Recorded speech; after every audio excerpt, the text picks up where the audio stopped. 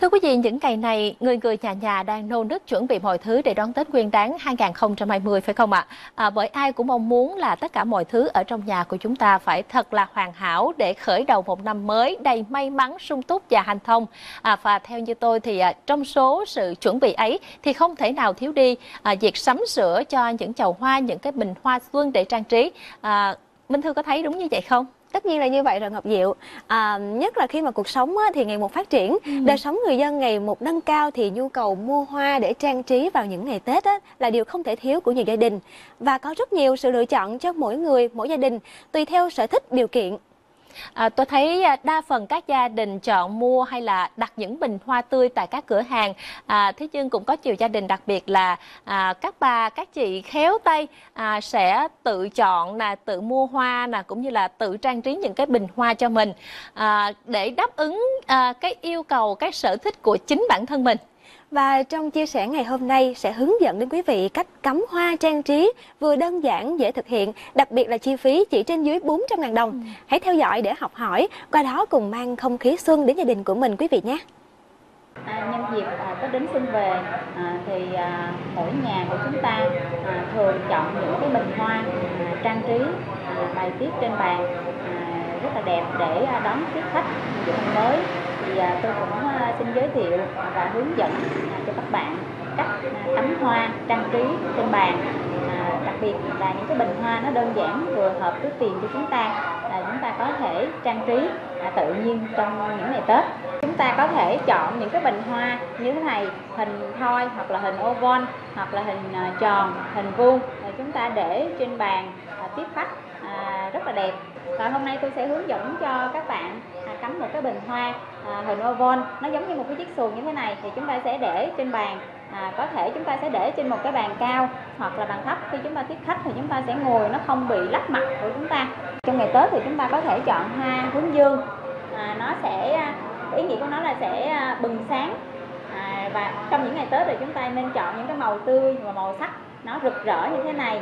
Và cái thứ hai là đồng tiền. Thì chúng ta lúc nào cũng uh, chọn cái cái này để chúng ta có thể phát tài à, để uh, cắm trong nhà thì nó sẽ hay hơn. Và cũng như cắt tường thì uh, nó có ý nghĩa là vạn sự như ý cắt tường. Thứ hai nữa là các bạn nói về hoa đệm. Thì cái hoa này hoa à, chúng ta tăng thêm cái màu sắc thì chúng chúng ta cũng chọn những cái hoa như là hoa hồng à, và hoa thạch thảo.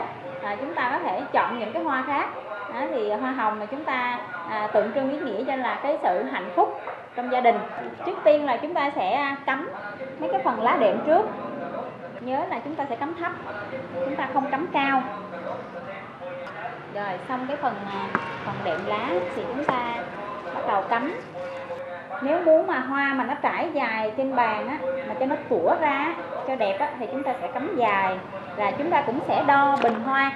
Bình hoa nói ngang nè từ bình hoa này ờ, chúng ta sẽ đo qua nếu như vượt quá khoảng chừng 5 đến 10 cm thì chúng ta sẽ nhìn thấy nó đẹp hơn chúng ta đo bình hoa.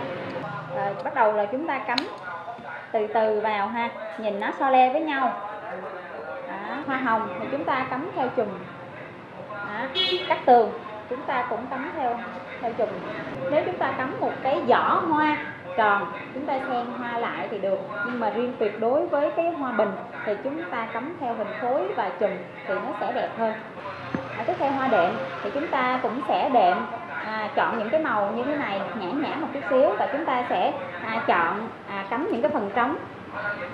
À, hoa nở cũng sẽ cắm chính giữa và hoa búp thì chúng ta cũng sẽ cắm xung quanh và cắm theo chiều hướng của hoa. Cắm theo chiều hướng của hoa chủ đạo ha tiếp theo thì tôi sẽ trang trí cho nhìn cái cái hoa nó nhìn nó bắt mắt hơn và nó có cái chiều sâu hơn. Thì chúng ta sẽ chọn sẽ chọn cái thanh tre chúng ta thanh tre đan như thế này thì nó sẽ đẹp hơn. Còn có thể là chúng ta sẽ chọn những cành trúc. Thì tôi thì sẽ chọn cái thanh tre này bởi vì là thanh tre này là cái màu sắc cũng gần giống như những cái màu hoa. Đó, chúng ta sẽ chọn tương xứng với nhau nhìn cho nó có cái chiều sâu. Thì chúng ta có thể cắm chúng ta có thể bẻ cong hoặc là chúng ta có thể cắt nửa và cắt xéo à, chúng ta sẽ cắm vào trong này. À, thì chúng ta nhìn chọn hoa. Ví dụ như bên này à, chúng ta đã cắm hoa nó dài rồi thì chúng ta sẽ cho cái phần chiều cong của cái thanh tre này nó sẽ nằm hướng cái bên này thì nó sẽ đẹp và khi chúng ta cắm vào bình hoa thì chúng ta sẽ nhìn cái hướng của bình hoa. Ví dụ như cái bình hoa này á là chúng ta nhìn thấy cái hướng này nó mình đã cắm có một cái hướng dài rồi thì chúng ta sẽ cắm theo cái hình vòng cung chúng ta sẽ bẻ uốn cái thanh tre này lại. Và cái hướng hướng của thanh tre này chúng ta sẽ đưa ra ngoài. Mặt này sẽ đưa ra ngoài thì nhìn nó sẽ chính diện thì nó sẽ đẹp. Còn nếu như chúng ta đưa vào bên trong thì chúng ta cắm như thế này thì không thấy không thấy thanh tre. À, vừa rồi thì tôi cũng đã hướng dẫn à, cho các bạn à, cắm một cái bình hoa thật là đơn giản như thế này. Thì các bạn có thể à, cắm à, tại nhà để cho chúng ta à, đem cái không khí Tết về à, trong gia đình thêm cái phần ấm cúng và hạnh phúc cho gia đình hơn.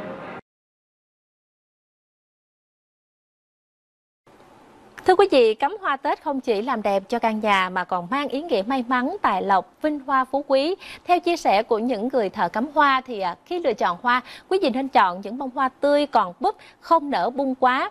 Thời gian cắm hoa nên vào ngày 30 âm lịch, kết hợp với việc là cung cấp nước thường xuyên vào mút đệm à, sẽ giữ hoa tươi từ mùng 4 cho đến mùng 5 Tết luôn đó quý vị ạ.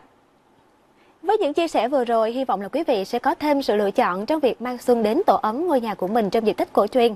Nếu cần theo dõi lại chia sẻ này, thì quý vị hãy truy cập vào trang web brt.vn vào phần thời sự một ngày mới thưa quý vị.